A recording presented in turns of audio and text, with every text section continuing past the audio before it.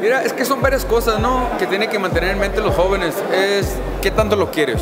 Ah, ¿Es algo que quieres a largo plazo? ¿Sí o no? Tienes que preguntarte esas cosas, ¿no? Ah, ¿Estás dispuesto a arriesgarte? ¿Estás dispuesto a reservar? A ponerte una manera donde eres más reservado con la familia, con los amigos. El deporte de boxeo es un deporte muy celoso.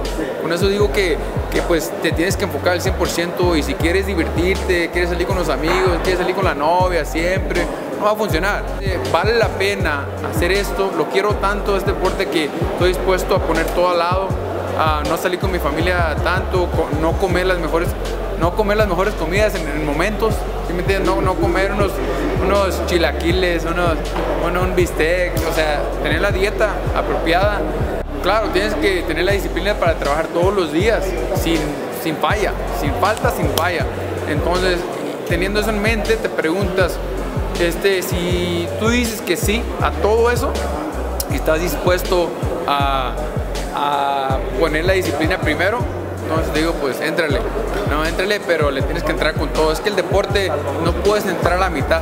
Si quieres ser grande, tienes que entrar al 100% y enfocarte en esto. Y es por eso que los peleadores élites están y los campeones están en donde están, por, por el sacrificio que han hecho. Empezó a los 8 años. A los 8 años empezó este sacrificio, sacrificio y la verdad pues no me arrepiento porque yo adoro este deporte, este me, me, ha dado mucho. Hubo veces donde le tienes que decir a los amigos que no puedes salir con ellos, te tienes que separar de los amigos que son mala influencia.